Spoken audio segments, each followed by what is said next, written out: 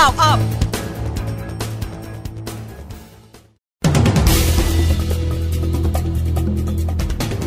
10นาฬิกา5นาที นายกรัฐมนตรีเสียใจ สปปลาวเขื่อนแตกน้ำท่วม มีผู้เสียชีวิตและผู้สูญหาย ยืนยันไทยพร้อมให้การช่วยเหลือเต็มที่ 10นาฬิกา14 นาที สมาคมค้าทองคำประกาศราคาทองคงที่ทองรูปพรรณรับซื้อบาทละ 18,950 บาท ขายออกบาทละ 19,900 บาท ทองคำแท่งรับซื้อบาทละ 19,300 บาท ขายออกบาทละ 19,400 บาท 10นาฬิกา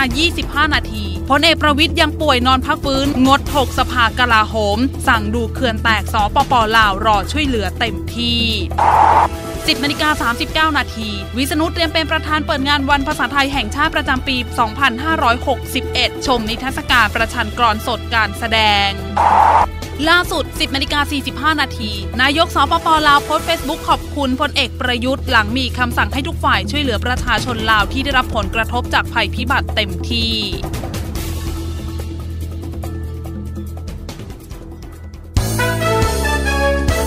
INN News Go up!